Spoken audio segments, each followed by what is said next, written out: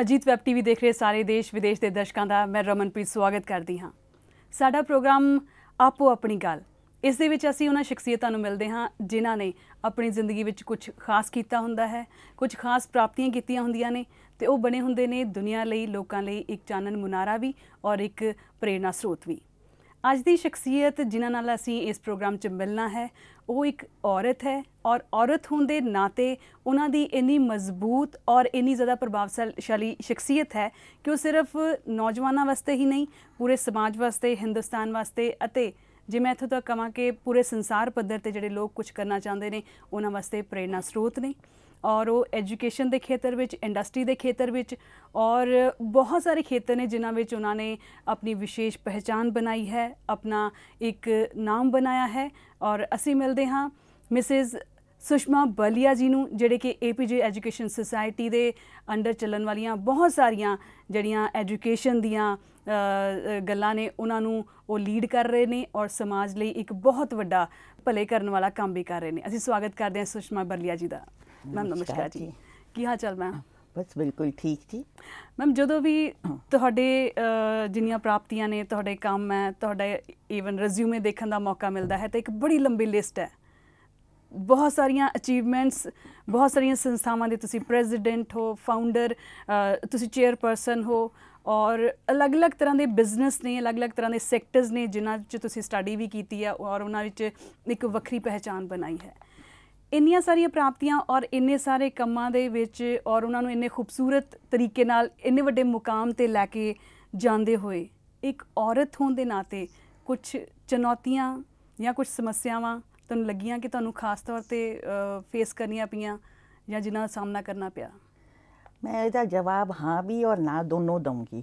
ਉਹ ਇਸ ਕਰਕੇ ਕਿ ਜਿਹੜਾ ਮੇਰਾ ਬਚਪਨ ਸੀ ਉਹ ਤਾਂ ਹਮੇਸ਼ਾ ਜਿਹੜੇ ਮੇਰੇ ਫਾਦਰ ਮਦਰ ਸੀ ਕਦੀ ਉਹਨਾਂ ਨੇ ਮੈਨੂੰ ਮਹਿਸੂਸ ਹੀ ਨਹੀਂ ਹੋਣ ਦਿੱਤਾ ਕਿ ਕੁੜੀ ਔਰ ਮੁੰਡੇ 'ਚ ਕੋਈ ਫਰਕ ਹੈ ਜੀ ਸੋ देयरफॉर ਹਮੇਸ਼ਾ ਉਹਨਾਂ ਨੇ ਇਨਕਰੇਜ ਕੀਤਾ ਇਹ ਸੋਚਣ ਲਈ ਕਿ ਜ਼ਿੰਦਗੀ 'ਚ ਜੋ ਵੀ ਮੈਂ ਚਾਹੁੰਦੀ ਹਾਂ ਕੋਈ ਇਦਾਂ ਦੀ ਚੀਜ਼ ਨਹੀਂ ਹੈ ਜੋ ਮੈਂ ਜੇ ਕੋਸ਼ਿਸ਼ ਕਰਾਂ ਜੇ ਮੈਂ ਮਿਹਨਤ ਕਰਾਂ ਤਾਂ ਮੈਂ ਉਹਨੂੰ ਨਹੀਂ ਅਚੀਵ ਕਰ ਸਕਦੀ ਲੇਕਿਨ ਜਦ ਅਸੀਂ ਕਾਰਜ ਖੇਤਰ 'ਚ ਉਤਰਦੇ ਹਾਂ ਐਕਚੁਅਲੀ ਕੰਮ ਕਰਨ 'ਚ ਉਤਰਦੇ ਹਾਂ ਔਰ ਖਾਸ ਕਰ ਵਿਆਹ ਦੇ ਬਾਅਦ ਘਰ ਦਾ ਜੁਮਾ ਬੱਚਿਆਂ ਦਾ ਜੁਮਾ ਉਹ ਸਾਰਾ ਜਦ ਆਂਦਾ ਹੈ ਤਾਂ ਚੁਣੌਤੀਆਂ ਤਾਂ ਦੋਨੋਂ ਤਰਫੀ ਹੁੰਦੀਆਂ ਜੀ। ਇੱਕ ਤਾਂ ਹੋ ਜਾਂਦਾ ਬੈਲੈਂਸਿੰਗ ਕਿ ਵੀ ਕਿੱਦਾਂ ਤੁਸੀਂ ਆਪਣੇ ਘਰ ਨੂੰ ਵੀ ਠੀਕ ਰੱਖੋ ਆਪਣੇ ਬੱਚਿਆਂ ਨਾਲ ਵੀ ਟਾਈਮ ਦਿਓ ਔਰ ਇੱਕ ਔਰਤ ਤੋਂ ਹਮੇਸ਼ਾ ਐਕਸਪੈਕਟੇਸ਼ਨ ਜ਼ਿਆਦਾ ਹੀ ਹੁੰਦੀ ਹੈ। ਬਿਲਕੁਲ। ਔਰ ਆਪਣੇ ਆਪ ਤੋਂ ਵੀ ਸਾਡੀ ਸ਼ਾਇਦ ਐਕਸਪੈਕਟੇਸ਼ਨ ਜ਼ਿਆਦਾ ਹੁੰਦੀ ਹੈ। ਜੀ। ਲੇਕਿਨ ਨਾਲੋਂ ਨਾਲ ਇੱਕ ਇਹ ਵੀ ਚੁਣੌਤੀ ਹੁੰਦੀ ਹੈ ਕਿ ਜਿਹੜੇ ਬਾਹਰ ਵੱਲ ਜੋ ਚੀਜ਼ ਇੱਕ 100% ਕੋਈ ਆਦਮੀ ਕਰਦਾ ਹੈ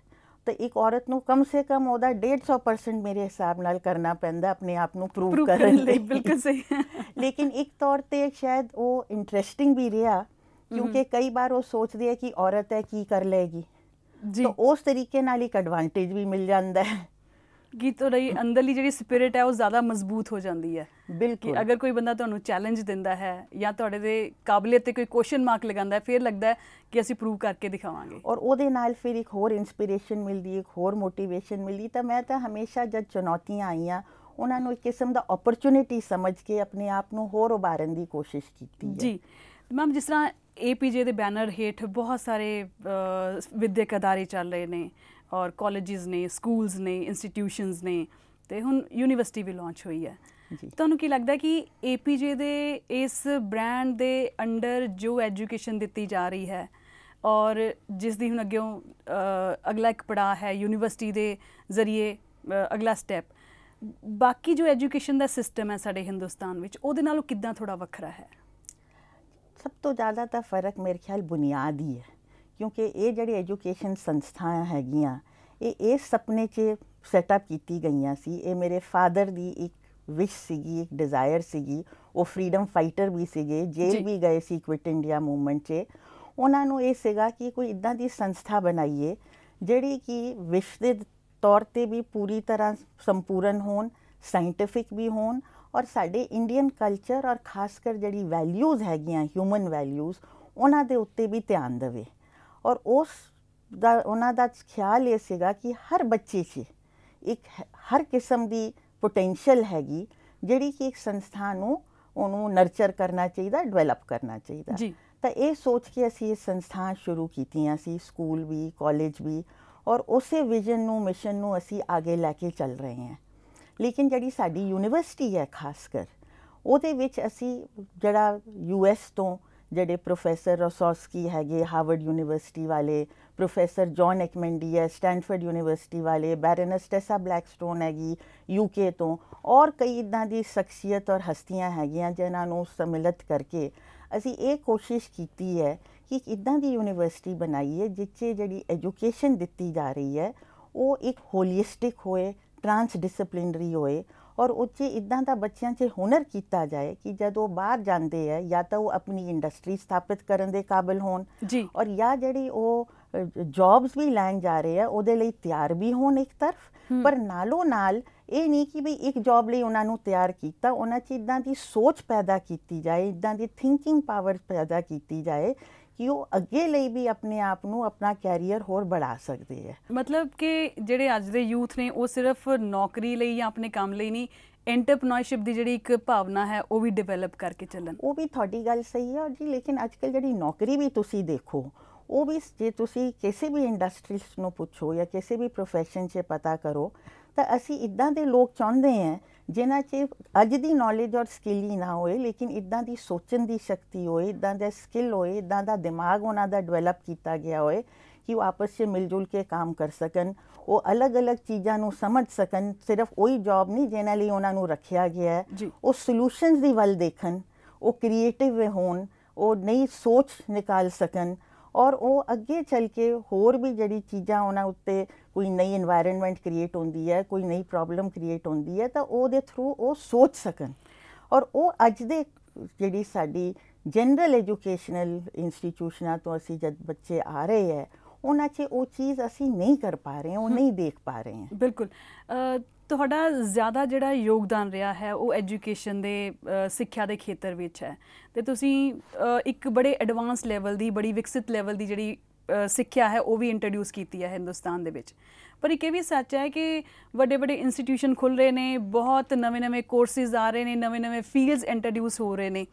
ਪਰ ਸੱਚ ਇਹ ਵੀ ਹੈ ਕਿ ਸਿੱਖਿਆ ਅੱਜ ਦੇ ਖੇਤਰ ਵਿੱਚ ਬਹੁਤ ਮਹਿੰਗੀ ਵੀ ਹੁੰਦੀ ਜਾ ਰਹੀ ਹੈ।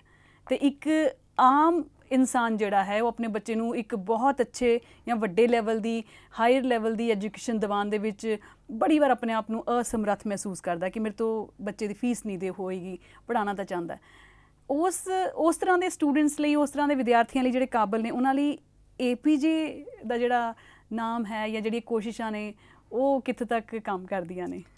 ਜੀ ਇਦਾਂ ਹੈ ਕਿ ਮੈਂ ਬਿਲੀਵ ਕਰਦੀ ਹਾਂ ਕਿ ਜਿਹੜੇ ਬੱਚੇ ਪੇ ਕਰ ਸਕਦੇ ਆ ਉਹਨਾਂ ਤੋਂ ਤਾਂ ਫੀ ਜਿੰਨੀ ਐਕਚੁਅਲ ਕਾਸਟ ਆਫ ਐਜੂਕੇਸ਼ਨ ਉਸ ਹਿਸਾਬ ਨਾਲ ਲੈਣੀ ਚਾਹੀਦੀ।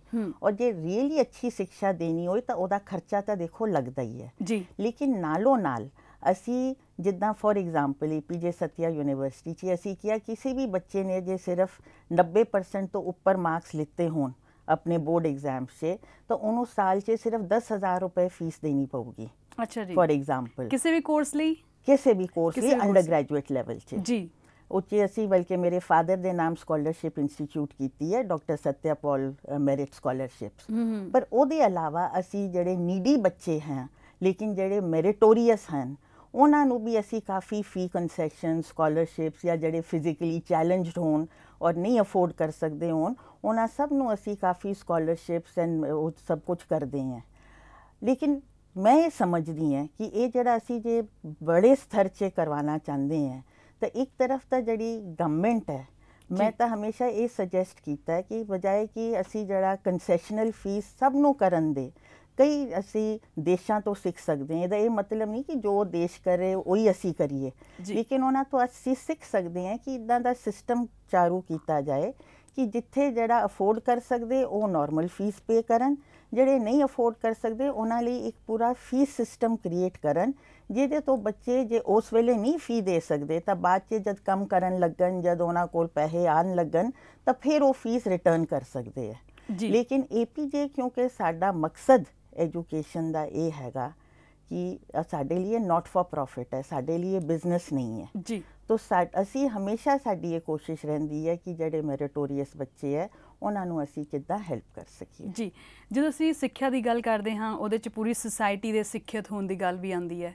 ਤਾਂ ਕਿ ਜਿਹੜੀ ਸਾਡੀ ਸੁਸਾਇਟੀ ਆ, ਯੂਥ ਹੈ ਜਿਹੜਾ, ਨੌਜਵਾਨ ਹੈ ਅੱਗਿਓਂ ਐਮਪਾਵਰ ਹੋ ਸਕਣ, ਕਾਬਿਲ ਹੋ ਸਕਣ, ਆਪਣੀ ਜ਼ਿੰਦਗੀ ਚਲਾਉਣ ਲਈ ਵੀ ਤੇ ਸੁਸਾਇਟੀ ਨੂੰ ਕੁਝ ਦੇਣ ਲਈ।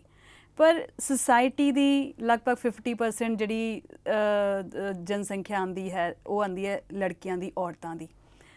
ਔਰਤਾਂ ਦੇ ਲਈ ਜਾਂ ਔਮਨ ਐਮਪਾਵਰਮੈਂਟ ਐਮਪਾਵਰਮੈਂਟ ਲਈ ਜਾਂ ਔਰਤਾਂ ਦੇ ਸਸ਼ਕਤੀਕਰਨ ਦੇ ਲਈ, ਤੁਸੀਂ ਇੱਕ ਔਰਤ ਹੋਣ ਦੇ ਨਾਤੇ ਖੁਦ ਚੈਲੰਜਸ ਮਹਿਸੂਸ ਕੀਤੇ। ਉਹਨਾਂ ਨੂੰ ਧਿਆਨ 'ਚ ਰੱਖਦੇ ਹੋਏ ਕੀ ਖਾਸ ਕਦਮ ਚੁੱਕੇ ਜਾਂ ਕਿਹੜੇ ਕੋਈ ਨਾਮ ਖਾਸ ਪ੍ਰੋਜੈਕਟ ਲਾਂਚ ਕੀਤੇ ਕਿ ਤਾਂ ਕਿ ਔਰਤਾਂ ਨੂੰ ਸਸ਼ਕਤੀਕਰਨ ਵੱਲ ਲੈ ਕੇ ਜਾਇਆ ਜਾਏ? ਵੈਸੇ ਤਾਂ ਮੈਂ ਤੁਹਾਨੂੰ ਦੱਸਾਂ ਮੇਰੇ ਹਿਸਾਬ ਨਾਲ ਤਾਂ ਔਰਤਾਂ ਖੁਦ ਹੀ ਸਮਰੱਥ ਹਨ ਕਿ ਉਹ ਆਪਣੇ ਆਪ ਨੂੰ ਸੁਸਖਸ਼ਿਤ ਕਰ ਸਕਣ। ਸਿਰਫ ਇੱਕ ਆਪਣਾ ਮਨ ਔਰ ਆਪਣਾ ਮਾਈਂਡ ਖੋਲਣ ਵਾਲੀ ਗੱਲ ਹੈ ਔਰ ਜੇ ਅਸੀਂ ਐਕਚੁਅਲੀ ਚਾਹੀਏ ਆਪਣੇ ਅੰਦਰ ਤਾਂ ਅਸੀਂ ਸਭ ਕੁਝ ਕਰ ਸਕਦੇ ਹਾਂ। ਜੀ। ਬਟ ਫਿਰ ਵੀ ਮੈਂ ਤਿੰਨ ਚਾਰ ਚੀਜ਼ਾਂ ਸੀ ਮੇਰੀ ਬੜੀ ਸਟਰੋਂਗ ਮੰਨਣਾ ਹੈਗੀ ਕਿ ਐਜੂਕੇਸ਼ਨ ਸਭ ਤੋਂ ਇੰਪੋਰਟੈਂਟ ਚੀਜ਼ ਹੈ ਜੇ ਇੱਕ ਔਰਤ ਨੂੰ ਮਿਲ ਜਾਏ ਤਾਂ ਉਹ ਆਪਣੇ ਆਪ ਪੈਰਾਂ 'ਤੇ ਵੀ ਖੜੀ ਹੋ ਸਕਦੀ ਹੈ ਔਰ ਅੱਗੇ ਕੁਝ ਆਪਣੇ ਆਪ ਨੂੰ ਕਰ ਵੀ ਸਕਦੀ ਹੈ। ਜੀ। ਇਸ ਕਰਕੇ ਅਸੀਂ ਕਾਫੀ ਜਗ੍ਹਾ ਲੜਕੀਆਂ ਦੇ ਸਕੂਲ ਬਣਵਾ ਕੇ ਅਸੀਂ ਦਿੱਤੇ ਹੈਗੇ ਲੋਕਲ ਗਾਵਾਂ 'ਚ ਹੋਰ 'ਚ ਕਿ ਵੀ ਤੁਸੀਂ ਇਹਨੂੰ ਅੱਗੇ ਚਲਾ ਕੇ ਇਹਨੂੰ ਲੈ ਕੇ ਚੱਲੋ। ਅਸੀਂ ਵਿਮਨ ਕਾਲਜ ਵੀ ਖੋਲੇ ਹੈ ਬੈਕਵਰਡ ਏਰੀਆ 'ਚ ਔਰ ਮੈਂ ਕੁਝ ਸਾਲਾਂ ਤੋਂ ਦੇਖ ਰਹੀ ਹਾਂ ਕਿ ਉੱਥੇ ਹੌਲੀ ਹੌਲੀ ਪਹਿਲਾਂ ਤਾਂ ਕੁੜੀਆਂ ਨੂੰ ਭੇਜਦੇ ਹੀ ਨਹੀਂ ਸੀ ਅੱਗੇ ਪੜਨ ਲਈ ਪਰ ਹੌਲੀ ਹੌਲੀ ਪਹਿਲਾਂ ਪ੍ਰਿੰਸੀਪਲ ਜਾਂਦੀ ਸੀ ਬੱਚਿਆਂ ਨੂੰ ਲੈ ਲੈ ਕੇ ਆਂਦੀ ਸੀ ਕਿ ਵੀ ਪਲੀਜ਼ ਆਪਣੀ ਕੁੜੀਆਂ ਨੂੰ ਔਰ ਆਪਣੀ ਬਹੂਆਂ ਨੂੰ ਕਿਉਂਕਿ ਉਸ ਵੇਲੇ ਤਾਂ ਸ਼ਾਦੀਆਂ ਵੀ ਬੜੀ ਜਲਦੀ ਹੋ ਜਾਂਦੀਆਂ ਸੀ ਕਿ ਵੀ ਪਲੀਜ਼ ਇਹਨਾਂ ਨੂੰ ਕਾਲਜ ਭੇਜ ਦਿਓ ਸਾਡੇ ਕੋਲ। ਹੁਣ over a period of time ਅਸੀਂ ਉਸੇ ਜਗ੍ਹਾ 'ਚ ਦੇਖਦੇ ਹਾਂ ਕਿ ਮੈਂ ਪਿਛਲੀ ਕਨਵੋਕੇਸ਼ਨ 'ਚ ਗਈ ਸੀ ਉਹਨਾਂ ਦੇ ਨਾਟ ਓਨਲੀ ਉਹਨਾਂ ਦੇ ਸਸੁਰ ਬਟ ਗ੍ਰੈਂਡ ਸਸੁਰ ਜਿਹਨੂੰ ਕਹਿੰਦੇ ਉਹ ਸਾਰੇ ਵਿਲੇਜ ਦੇ ਲੋਕ ਆ ਕੇ ਉੱਥੇ ਬੜੇ ਸ਼ਾਨ ਨਾਲ ਬੈਠ ਕੇ ਕਿ ਵੀ ਅੱਜ ਸਾਡੀ ਬਹੂ ਡਿਗਰੀ ਲੈ ਜਾ ਰਹੀ ਹੈ। ਉਹਦੇ ਨਾਲ ਫਿਰ ਇਹ ਲੱਗਦਾ ਹੈ ਕਿ ਹਾਂ ਵਾਕਈ ਕੁਝ ਵਰਥਵਾਈਲ ਅਸੀਂ ਕਰ ਰਹੇ ਹਾਂ। ਜੀ ਜੀ। ਇਨਫੈਕਟ ਜੇ ਤੁਸੀਂ ਸਾਡਾ APJ College of Fine Arts ਵੀ ਜਿਹੜਾ ਜਲੰਧਰ 'ਚ ਹੈ ਸ਼ੁਰੂ ਤਾਂ ਤਾਂ ਕੁੜੀਆਂ ਲਈ ਖੋਲਿਆ ਗਿਆ ਸੀ। ਜੀ। ਫਿਰ ਹੌਲੀ ਹੌਲੀ ਖੈਰ ਮੁੰਡਿਆਂ ਨੂੰ ਵੀ ਇੰਟਰਸਟ ਸੀਗਾ ਕਿਉਂਕਿ it was for 뮤직 dance fine arts art ਨਾਲ ਰਿਲੇਟਡ ਸੀਗਾ। ਫਿਰ ਹੌਲੀ ਹੌਲੀ ਜਿੱਦਾਂ ਹੋਰ ਕੋਰਸਸ ਵੀ ਇੰਟਰੋਡਿਊਸ ਹੋ ਗਏ ਹੋਰ ਚੀਜ਼ਾਂ ਵੀ ਆ ਗਈਆਂ। ਹੁਣ ਉਦਾਂ ਵੀ ਲੋਕਾਂ ਨੂੰ ਮਾਈਂਡ ਨਹੀਂ ਹੈ ਕਿ ਕੁੜੀਆਂ ਮੁੰਡੇ ਨਾਲ ਨਾਲ ਪੜਨ ਤਾਂ ਪਹਿਲਾਂ ਤਾਂ ਉਦਾਂ ਭੇਜਦੇ ਵੀ ਤਾਂ ਨਹੀਂ ਨਾ ਸੀਗੇ ਕੋਐਡ ਕਾਲਜਸ 'ਚ ਤਾਂ ਸਮਾਂ ਬੜਾ ਬਦਲ ਗਿਆ। ਜੀ। ਔਰ ਦੂਜੇ ਮੈਂ ਇਹ ਫੀਲ ਕਰਦੀ ਹਾਂ ਕਿ ਐਜ਼ ਅ ਔਰਤ ਸਾਨੂੰ ਮਤਲਬ ਜਿਹੜੀ ਵੀ ਅਸੀਂ ਕਿਸੇ ਵੀ ਸਤਰ 'ਚ ਜਦ ਅਸੀਂ ਕੁਝ ਵੀ ਕਰਦੇ ਹਾਂ ਤਾਂ ਸਾਡੇ ਐਕਸਪੀਰੀਐਂਸਸ ਦੂਜੀ ਔਰਤਾਂ ਨਾਲ ਜ਼ਰੂਰ ਸ਼ੇਅਰ ਕਰਨਾ ਚਾਹੀਦਾ। ਪਹਿਲਾਂ ਮੈਂ ਥੋੜਾ ਸ਼ਰਮਾਂਦੀ ਸੀ ਕਿ ਕੀ ਆਪਣੇ ਬਾਰੇ 'ਚ ਗੱਲ ਕਰਨੀ। ਲੇਕਿਨ ਮੈਂ ਫੀਲ ਕਰਦੀ ਹਾਂ ਜਦ ਹੋਰ ਔਰਤਾਂ ਸੁਣਦੀਆਂ ਦੇਖਦੀਆਂ ਕਰਦੀਆਂ ਤਾਂ ਉਹਨਾਂ ਦੇ ਮਨ 'ਚ ਜਿਹੜੇ ਖਿਆਲ ਹੁੰਦੇ ਐ ਕੋਈ ਅੰਕੁਸ਼ ਹੁੰਦਾ ਹੈ ਕੋਈ ਸੋਚ ਹੁੰਦੀ ਕਿ ਪਤਾ ਨਹੀਂ ਅਸੀਂ ਕਰ ਪਾਈਏ ਨਹੀਂ ਕਰ ਪਾਈਏ ਕਰਨਾ ਚਾਹੀਦਾ ਨਹੀਂ ਕਰਨਾ ਚਾਹੀਦਾ। ਤਾਂ ਉਹ ਫਿਰ ਆਪਸ ਵਿੱਚ ਇੱਕ ਦੂਜੇ ਨੂੰ ਸੁਣ ਕੇ ਸਾਨੂੰ ਸਭ ਨੂੰ ਇਨਸਪੀਰੇਸ਼ਨ ਮਿਲਦੀ ਮੈਨੂੰ ਵੀ ਮਿਲਦੀ ਹੈ ਨਾਲੇ ਨਾਲ ਅੱਛਾ ਜੀ। ਕਿਉਂਕਿ ਜਦ ਹੋਰ ਔਰਤਾਂ ਦੀ ਗੱਲਾਂ ਸੁਣੋ ਉਹਨਾਂ ਦੇ ਪ੍ਰੋਬਲਮ ਸੁਣੋ ਉਹਨਾਂ ਦੀ ਕਿੱਦਾਂ ਉਹਨਾਂ ਨੇ ਆਪਣੀ ਲਾਈਫ 'ਚ ਕੰਮ ਕੀਤੇ ਹੈ ਤਾਂ ਉਹ ਇੱਕ ਲਰਨਿੰਗ ਐਕਸਪੀਰੀਅੰਸ ਹੋ ਜਾਂਦਾ ਹੈ। ਇਹ ਤੇ ਮੈਮ ਗੱਲ ਹੋਈ ਐਜੂਕੇਸ਼ਨ ਦੀ ਹੈ ਨਾ ਪਰ ਜਦੋਂ ਅਸੀਂ ਤੁਹਾਡੀ ਗੱਲ ਕਰਦੇ ਹਾਂ, ਤੁਹਾਡੇ ਨਾਲ ਇੰਡਸਟਰੀ ਦਾ ਵੀ ਤਾਲੁਕ ਜੁੜਦਾ ਹੈ, ਤੁਸੀਂ ਇੱਕ ਇੰਡਸਟਰੀ ਚਲਾ ਵੀ ਰਹੇ ਹੋ ਬਹੁਤ ਵੱਡੇ ਪੱਧਰ ਤੇ। ਪੰਜਾਬ ਦੇ ਵਿੱਚ ਇੰਡਸਟਰੀ ਜਿਹੜੀ ਹੈ, ਮੁਕਾਬਲਤਨ ਉਸ ਤਰੀਕੇ ਨਾਲ ਵਿਕਾਸ ਨਹੀਂ ਕਰ ਰਹੀ, ਜਿਸ ਤਰੀਕੇ ਨਾਲ ਉਹਦਾ ਵਿਕਾਸ ਹੋਣਾ ਚਾਹੀਦਾ ਹੈ, ਜਿਵੇਂ ਸਮਾਂ ਬਦਲ ਰਿਹਾ, ਜੋ ਜ਼ਰੂਰਤਾਂ ਨੇ ਸਮੇਂ ਦੀਆਂ। ਤੁਹਾਡੇ ਵਿਚਾਰ ਦੇ ਨਾਲ ਤੁਹਾਡੇ ਹਿਸਾਬ ਨਾਲ ਕੀ ਕਾਰਨ ਨੇ? ਦੇਖੋ ਜੀ, ਮੈਂ ਤਾਂ ਤੁਹਾਨੂੰ ਦੱਸਾਂ ਮੈਂ ਤਾਂ ਅੱਜਕੱਲ ਜ਼ਿਆਦਾ ਪੰਜਾਬ 'ਚ ਹੁਣ ਟਾਈਮ ਸਪੈਂਡ ਕਰ ਰਹੀ ਹਾਂ। ਬਲਕਿ ਮੈਂ ਆਪਣੇ ਮੁੰਡਿਆਂ ਨੂੰ ਵੀ ਲੈ ਕੇ ਆ ਰਹੀ ਹਾਂ। ਹਲੇ ਤਾਂ ਕੁੜੀ ਪੜ ਰਹੀ ਹੈ ਉਹ ਵੀ ਹੋਏਗੀ ਉਹਨੂੰ ਵੀ ਲੈ ਆਉਂਗੀ। ਲੇਕਿਨ ਮੇਰਾ ਆਈਡੀਆ ਇਹ ਹੈ ਕਿ ਹੁਣ ਮੈਂ ਮੇਰਾ ਦਿਲੀ ਇੱਛਾ ਹੈ ਕਿਉਂਕਿ ਮੈਨੂੰ ਇਸ ਮਿੱਟੀ 'ਚ ਬਹੁਤ ਜ਼ਿਆਦਾ ਪਿਆਰ ਹੈ। ਮੈਂ ਇੱਥੇ ਹੀ ਪੈਦਾ ਹੋਈ ਸੀ ਇੱਥੇ ਹੀ ਵੱਡੀ ਹੋਈ ਸੀ। ਮੈਂ ਚਾਹਨੀ ਹਾਂ ਕਿ ਇੱਥੇ ਅਸੀਂ ਕੁਝ ਨਾ ਕੁਝ ਲਾਈਏ। ਅਸੀਂ ਡਿਫਰੈਂਟ ਡਿਫਰੈਂਟ ਫੀਲਡਸ 'ਚ ਹੈਗੇ ਫੂਡ ਪ੍ਰੋਸੈਸਿੰਗ 'ਚ ਫਾਰਮਾਸਿਊਟੀਕਲ 'ਚ ਰੀਅਲ ਏਸਟੇਟ ਫਾਈਨਾਂਸ ਕਿਤੇ ਨਾ ਕਿਤੇ ਕੋਈ ਨਾ ਕੋਈ ਚੀਜ਼ ਪਲਾਸਟਿਕਸ ਸਾਨੂੰ ਮੈਂ ਦੇਖ ਰਹੀ ਹਾਂ ਕਿ ਇਹਨਾਂ 'ਚ ਕਿਹੜਾ ਏਰੀਆ ਸੂਟੇਬਲ ਹੋਏਗਾ। But I am very keen ਕਿ ਅਸੀਂ ਇੱਥੇ ਕੁਝ ਨਾ ਕੁਝ ਇੰਡਸਟਰੀ ਲਾਈਏ ਕੁਝ ਇਨਵੈਸਟਮੈਂਟ ਕਰੀਏ ਤਾਂ ਅਸੀਂ ਉਹ ਐਕਸਪਲੋਰ ਕਰ ਰਹੇ ਹਾਂ। ਮੇਰਾ ਆਪਣਾ ਇਹ ਖਿਆਲ ਹੈ ਕਿ ਦੇਖੋ ਪੰਜਾਬੀਆਂ 'ਚ ਬਹੁਤ ਹੁਨਰ ਹੈ ਬਹੁਤ ਐਂਟਰਪ੍ਰੀਨਿਓਰਸ਼ਿਪ ਹੈ। ਜੇ ਤੁਸੀਂ ਪਾਸ 'ਚ ਦੇਖੋ ਤਾਂ ਕਿੰਨਾ ਸਾਡਾ ਯੋਗਦਾਨ ਰਿਹਾ ਹੈ ਐਜੂਕੇਸ਼ਨ ਵਿੱਚ ਇੰਡਸਟਰੀ ਵਿੱਚ ਹਰ ਚੀਜ਼ ਵਿੱਚ। ਸਾਰੀ ਦੁਨੀਆ 'ਚ ਤੁਸੀਂ ਦੇਖੋ ਤਾਂ ਇੱਥੋਂ ਹੀ ਪੰਜਾਬੀ ਜਾ ਜਾ ਕੇ ਉਹਨਾਂ ਨੇ ਕਿੰਨਾ ਕੁਝ ਉੱਥੇ ਖੜਾ ਕਰ ਲਿਆ। ਬਿਲਕੁਲ ਸਹੀ ਬਿਲਕੁਲ ਸਹੀ। ਆਈ ਥਿੰਕ ਜਿਹੜੀ ਥੋੜੀ ਜ਼ਰੂਰਤ ਇਹ ਹੈ ਕਿ ਉਹਨਾਂ ਨੂੰ ਇੱਕ ਵਾਰ ਬੁਲਾ ਕੇ ਇਕੱਠਾ ਕਰਕੇ ਔਰ ਇੱਕ ਕੋਈ ਇਦਾਂ ਦਾ ਇੱਕ ਜਿਹਨੂੰ ਕਹਿੰਦੇ ਵਨ ਵਿੰਡੋ ਟਾਈਪ ਅਸੀਂ ਅਪਰੋਚ ਇੱਥੇ ਇਕੱਠਾ ਕਰੀਏ ਕਿਉਂਕਿ ਮੇਨਲੀ ਕੀ ਹੁੰਦਾ ਜਿਹੜੇ ਲੋਕ ਬਾਹਰ ਤੋਂ ਆਂਦੇ ਇਨਵੈਸਟ ਕਰਨ ਖਾਸ ਕਰ ਉਹਨਾਂ ਨੂੰ ਥੋੜਾ ਜਿਹਾ ਇਹ ਰਹਿੰਦਾ ਹੈ ਕਿ ਬਈ ਅਸੀਂ ਇੱਥੇ ਬੈਠ ਕੇ ਜਗ੍ਹਾ ਜਗ੍ਹਾ ਜਾ ਕੇ ਜਾਂ ਇੱਕ ਇੱਕ ਮਹਕਮੇ 'ਚ ਜਾ ਕੇ ਕਿੱਦਾਂ ਆਪਣੀ ਚੀਜ਼ਾਂ ਕਰਵਾਵਾਂਗੇ।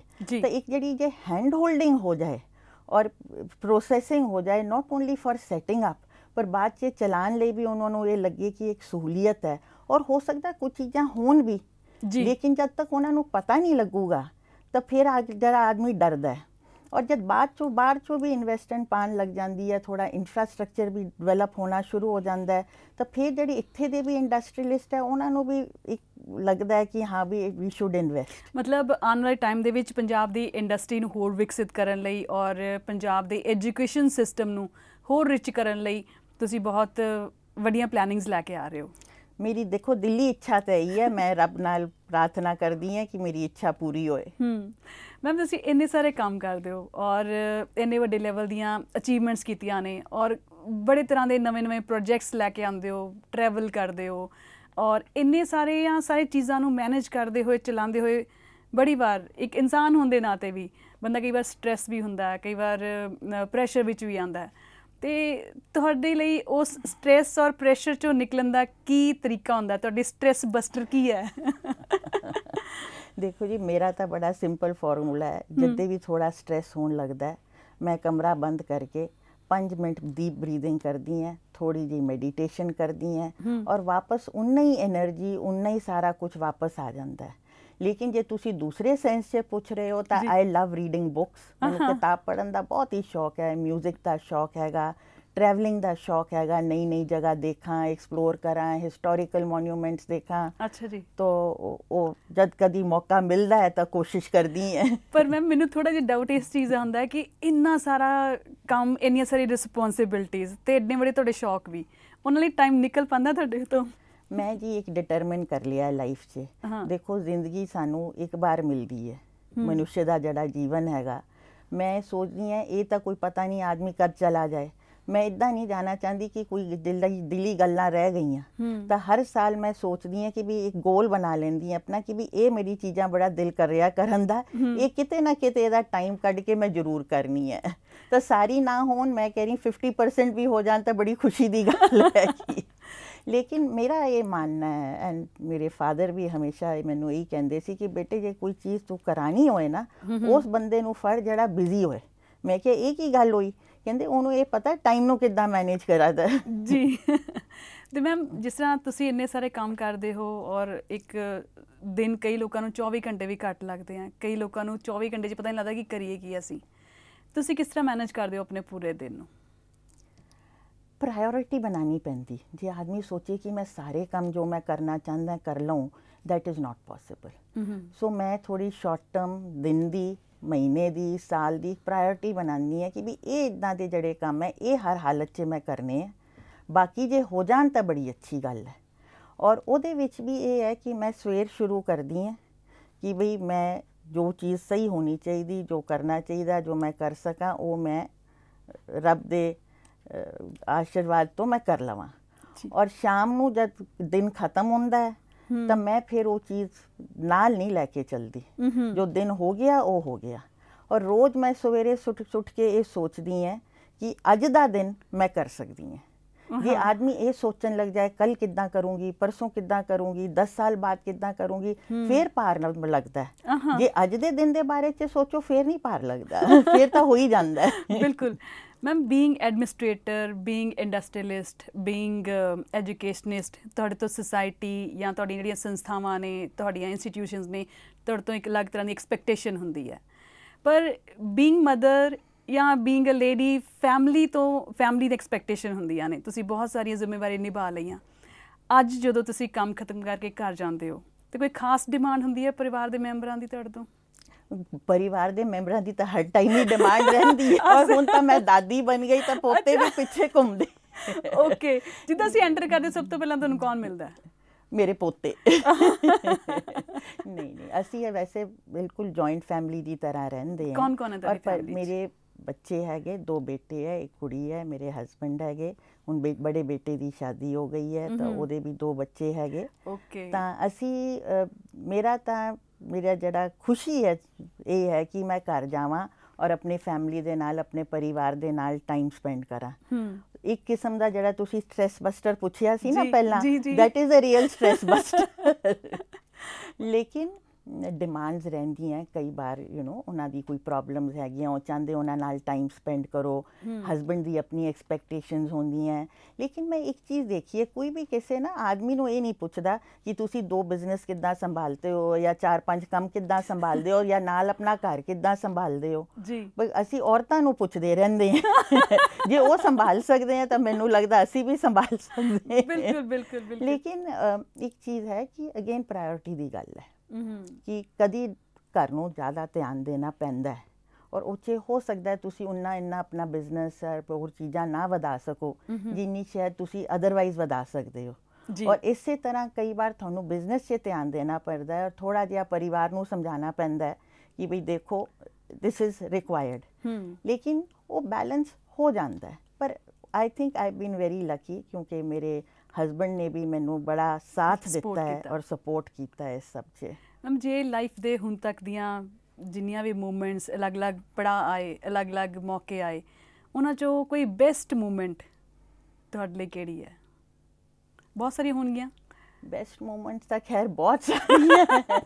ਹੁਣ ਤੁਸੀਂ ਸੋਚਦੇ ਪਾਤਾ ਪਰ ਮੈਂ ਸੋਚਦੀ ਹਾਂ ਤੁਹਾਡੇ ਦਿਲ ਦੇ Immediately ਜਿਹੜਾ ਨਜ਼ਦੀਕ। ਮੇਰੇ ਧਿਆਨ 'ਚ ਆ ਰਿਹਾ ਹੈ ਇਸ ਕੀ ਜਦ ਮੇਰੇ ਬੱਚਿਆਂ ਇਹ ਤਿੰਨੋਂ ਬੱਚੇ ਮੇਰੇ ਜਿਹੜੇ ਦੋਨੋਂ ਮੁੰਡੇ ਕੁੜੀ ਹੈ ਇਹ ਅਮਰੀਕਾ ਸਟੈਨਫੋਰਡ ਯੂਨੀਵਰਸਿਟੀ 'ਚ ਆਪਣਾ ਬੈਚਲਰ ਕਰਨ ਗਏ ਸੀ ਤਿੰਨੋਂ ਹੀ ਉੱਥੇ ਐਡਮਿਸ਼ਨ ਪਾ ਲਿਆ ਸੀ ਜਦ ਇਹਨਾਂ ਦੀ ਐਡਮਿਸ਼ਨ ਉੱਥੇ ਹੋਈ ਨਾ ਹੋਣਾ ਤਾਂ ਚਾਹੀਦਾ ਜਦ ਡਿਗਰੀ ਮਿਲ ਗਈ ਪਰ। ਜਦ ਐਡਮਿਸ਼ਨ ਹੋਈ ਨਾ ਮੈਂ ਕਹ ਰਹੀ ਇੰਨੀ ਮੈਨੂੰ ਇਦਾਂ ਦੀ ਸੈਟੀਸਫੈਕਸ਼ਨ ਲੱਗੀ ਕਈਆਂ ਨੂੰ ਹੁੰਦਾ ਕਿ ਮੇਰੇ ਮੁੰਡੇ ਦੀ ਸ਼ਾਦੀ ਹੋ ਜਾਏ ਜਾਂ ਮੈਂ ਕੁਝ ਆਪਣੇ ਆਪਣੀ ਇੱਕ ਗੋਲ ਹੁੰਦਾ ਹੈ। ਤਦ ਮੈਨੂੰ ਲੱਗਿਆ ਕਿ ਨਹੀਂ ਮੇਰਾ ਜ਼ਿੰ- ਮੇਰੀ ਜੀਵਨ ਸਫਲ ਹੋ ਗਿਆ ਐਜ਼ ਅ ਮਦਰ ਕਿ ਭਈ ਮੇਰੇ ਬੱਚੇ ਪੜ ਚੁੱਕੇ ਔਰ ਇਸ ਦਾ ਸੰਸਥਾ 'ਚ ਉਹਨਾਂ ਨੇ ਐਡਮਿਸ਼ਨ ਲੈ ਲਿਆ ਜਿਨ੍ਹਾਂ ਨੂੰ ਇਦਾਂ ਦੀ ਪੜ੍ਹਾਈ ਮਿਲ ਜਾਏਗੀ ਕਿ ਅੱਗੇ ਚੱਲ ਕੇ ਹੋਰ ਕੁਝ ਹੋਏ ਨਾ ਹੋਏ ਉਹ ਆਪਣੇ ਪੈਰਾਂ 'ਚ ਖੁਦ ਖੜੇ ਹੋ ਸਕਦੇ ਹੂੰ ਹਮ ਇੰਨੇ ਸਾਰੇ ਕੰਮ ਕਰਨ ਲਈ ਇੱਕ ਬੜੀ ਇੰਟਰਨਲ ਪਾਵਰ ਚਾਹੀਦੀ ਹੁੰਦੀ ਹੈ। ਇੱਕ ਤੁਹਾਨੂੰ ਇੰਟਰਨਲ ਸਪੋਰਟ ਚਾਹੀਦੀ ਹੁੰਦੀ ਹੈ। ਤੁਸੀਂ ਜੋ ਕੁਝ ਕੀਤਾ ਹੈ ਲੋਕਾਂ ਲਈ ਇੱਕ ਮਿਸਾਲ ਵੀ ਹੈ ਲੋਕਾਂ ਵਾਸਤੇ ਬਹੁਤ ਵੱਡੀ ਪ੍ਰੇਰਣਾ ਵੀ ਹੈ ਇਨਸਪੀਰੇਸ਼ਨ ਵੀ ਹੈ। ਤੁਸੀਂ ਬਹੁਤ ਸਾਰੇ ਲੋਕਾਂ ਦੀ ਇਨਸਪੀਰੇਸ਼ਨ ਹੋ। ਤੁਹਾਡੀ ਇਨਸਪੀਰੇਸ਼ਨ ਕੌਣ ਹੈ? ਤੁਹਾਡੇ ਅੰਦਰਲੀ ਤਾਕਤ ਦਾ ਆਧਾਰ ਕੌਣ ਹੈ? ਉਹਦੇ ਲਈ ਤਾਂ ਮੈਨੂੰ ਸੋਚਣ ਦੀ ਵੀ ਨਹੀਂ ਲੋੜ ਉਹ ਮੇਰੇ ਫਾਦਰ ਹੈਗੇ। Okay. ਸੇਠ ਸਤਪਾਲ ਜੀ ਦੇ ਨਾਮ ਤੋਂ ਮੇਰੇ ਖਿਆਲ ਜਲੰਧਰ ਸ਼ਹਿਰ ਤੱਕ ਸਾਰੇ ਹੀ ਕੋਈ ਉਹਨਾਂ ਨੂੰ ਜਾਣਦਾ ਹੈ, ਹੈ, ਪਰ। ਸ਼ਾਇਦ ਹਿੰਦੁਸਤਾਨ ਵੀ ਜਾਣਦਾ ਹੈ। ਔਰ ਅ, ਉਹ ਮੈਂ ਉਹਨਾਂ ਨੂੰ ਆਪਣਾ ਸੋਰਸ ਆਫ ਇਨਸਪੀਰੇਸ਼ਨ ਹੀ ਨਹੀਂ ਬਲਕਿ ਮੈਂ ਆਪਣਾ ਗੁਰੂ ਮੰਨਦੀ ਹਾਂ ਔਰ ਸਭ ਤੋਂ ਜ਼ਿਆਦਾ ਜੋ ਮੈਂ ਸੋਚਦੀ ਹਾਂ ਅੱਜ ਜਿਹੜਾ ਮੈਂ ਸ਼ੁਰੂ 'ਚ ਕਿਹਾ ਸੀ ਕਿ ਕਦੀ ਵੀ ਜਦ ਮੈਂ ਉਹਨਾਂ ਦੀ ਇਕਲੌਤੀ ਔਲਾਦ ਹੈ ਨਾ ਮੇਰਾ ਭਰਾ ਹੈ ਨਾ ਭੈਣ ਹੈ ਪਰ ਕਦੀ ਵੀ ਉਹਨਾਂ ਨੇ ਮਹਿਸੂਸ ਨਹੀਂ ਮੈਨੂੰ ਹੋਣ ਦਿੱਤਾ ਕਿ ਬਈ ਤੂੰ ਕੁੜੀ ਹੈ ਜਾਂ ਮੈਨੂੰ ਇਹ ਮੁੰਡੇ ਦੀ ਅਹਿਸਾਸ ਰਹਿ ਗਿਆ ਕਿ ਮੇਰੇ ਕੋਲ you know, ਬੇਟਾ ਨਹੀਂ ਨਹੀਂ ਹੈ। ਬੇਟਾ ਹੋਇਆ ਸੋ देयरफॉर ਔਰ ਫਿਰ ਉਹਨਾਂ ਨੇ ਹਮੇਸ਼ਾ ਮੈਨੂੰ ਪ੍ਰੋਤਸਾਹਨ ਦਿੱਤਾ ਕਿ ਵੀ ਜੋ ਤੂੰ ਕਰਨਾ ਚਾਹੁੰਦੀ ਹੈ ਜਿੱਦਾਂ ਕਰਨਾ ਚਾਹੁੰਦੀ ਹੈ ਹਮੇਸ਼ਾ ਮੈਨੂੰ ਇਨਕਰੇਜਮੈਂਟ ਦਿੱਤੀ। ਪਰ ਸਭ ਤੋਂ ਜ਼ਿਆਦਾ ਉਹਨਾਂ ਦੀ ਆਪਣੀ ਜ਼ਿੰਦਗੀ ਇੱਕ ਮਿਸਾਲ ਸੀਗੀ ਜਿਹੜੀ ਸਿੱਖਣ ਵਾਲੀ ਚੀਜ਼ ਸੀਗੀ। ਕਿਉਂਕਿ ਉਹਨਾਂ ਦਾ ਜਿੱਦਾਂ ਇੱਕ ਫਰੀडम ਫਾਈਟਰ ਸੀਗੇ ਉਹ ਫਿਜ਼ੀਕਲੀ ਚੈਲੰਜ ਸੀਗੇ ਉਹਨਾਂ ਨੂੰ ਪੋਲੀਓ ਸੀਗਾ ਜਦੋਂ ਛੋਟੇ ਸੀ। ਉਹਦੇ ਬਾਵਜੂਦ ਉਹਨਾਂ ਨੇ ਐਮਏ ਮੈਥਮੈਟਿਕਸ 골ਡ ਮੈਡਲਿਸਟ ਕੰਬਾਈਨ ਪੰਜਾਬ ਤੋਂ ਉਸ ਟਾਈਮ ਤੇ ਉਹਨਾਂ ਨੇ ਕੀਤਾ ਸੀਗਾ।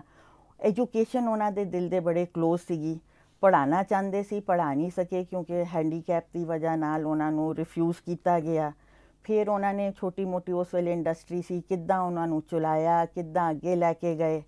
ਮੈਂ ਉਹਨਾਂ ਚੋਂ ਤਿੰਨ ਚਾਰ ਚੀਜ਼ਾਂ ਜਿਹੜੀ ਸਿੱਖੀਆਂ ਕਿ ਵੀ ਇੱਕ ਤਾਂ ਹਾਰਡ ਵਰਕ ਮਿਹਨਤ ਦਾ ਹੋਰ ਕੋਈ ਸਬਸਟੀਟਿਊਟ ਨਹੀਂ ਹੈ ਜੇ ਜ਼ਿੰਦਗੀ 'ਚ ਸਕਸੈਸ ਪਾਣੀ ਹੈ ਤਾਂ ਮਿਹਨਤ ਤਾਂ ਕਰਨੀ ਹੈ ਦੂਜੇ ਮਿਹਨਤ ਕਰੋ ਔਰ ਅੱਗੇ ਫਲ ਨਾ ਦੇਖੋ।